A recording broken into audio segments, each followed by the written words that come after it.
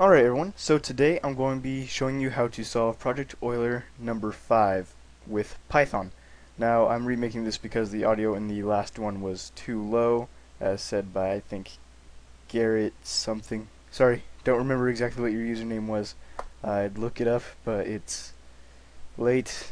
I'm recording this and I probably won't even get this up until tomorrow, but oh well. So, um, here's the problem that we're faced with from Project Euler. Try and find the smallest number divisible by all the other numbers from 1 to 20. So that means that the number will have to be divided by 1, by 2, by 3, and by 4, all the way up to 20, evenly. And we can do things like that pretty easily just by using the modulus um, operator, which will check to see if it is evenly divisible if we set it to equal 1. I 0, not 1. Now, there's a problem with this, though. If we were to just try and do that with all these, it would take a very, very long time. Um, we'd have to have a range of a huge number and stuff like that. So instead, what we're going to do is make something that will uh, basically go through all the loops all together at once very quickly. Um, also, by the way, this is going to be the last one from Project Euler, but uh, yeah, I'm going to be showing you guys a new language called something that I, I just remembered. I'm not going to tell you guys yet, but uh, another language. If you if you've gotten this far in Python, there's not really any much I can teach you other than how to use different modules, which is something that's pathetically easy. So yeah. Anyways, let's get started. So first, what we're going to do is just define our function, which is solve. It's going to take two um, two arguments, t and n. Oops. Put the colon there. Now what we want to do is say if n is greater than 0, then do if not t modulus n, which just checks to see if it's false. Then um, we need to check and see if um, what was it? If solve t comma n minus 1, I believe. Then we return true if, if that works. Else, oops, yeah, else return false. Else return false and lastly, else return true.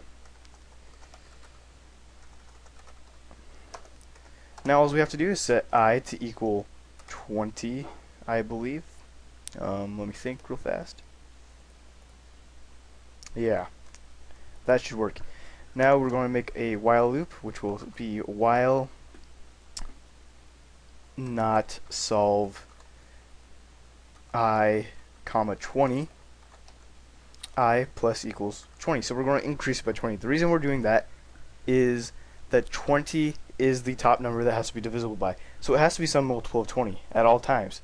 So we start at the smallest which is 20 that's the smallest number that it can possibly be is 20 uh, we know it's not because 7 does not go evenly into 20 neither does 9 and so on.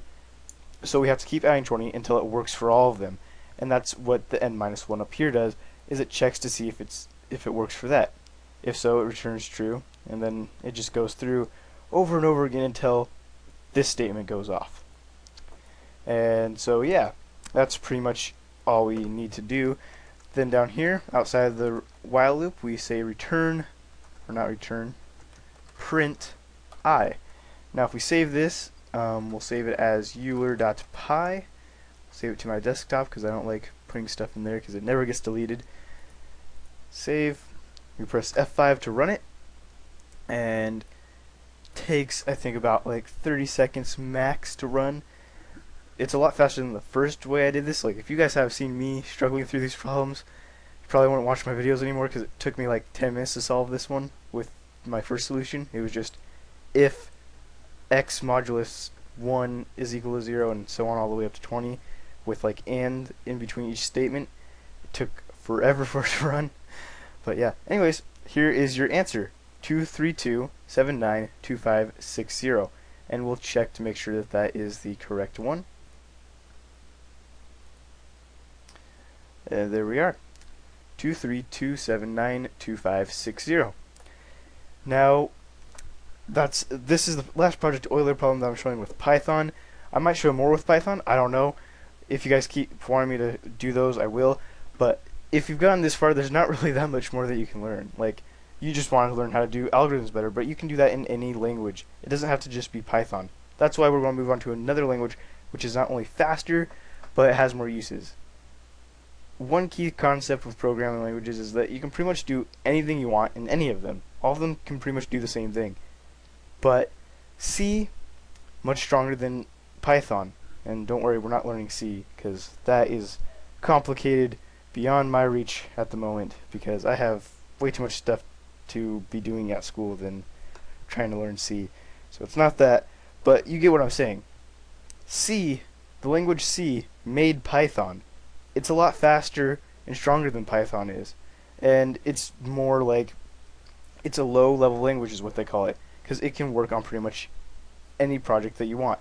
Python's higher level. It's harder to make it work on anything. So, yeah, we're going to move to a lower level language.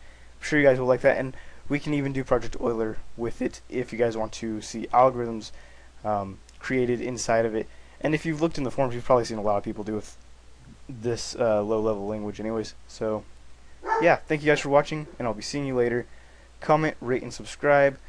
And, yeah, also, thanks to Garrett about... Um, actually, let me check and see what his name is. The Garrett HB. Thank you for uh, saying that it was the audio was too low. I hope this was better, not too loud, but better and not so low. Anyways, thanks for watching, and I'll be seeing you guys later.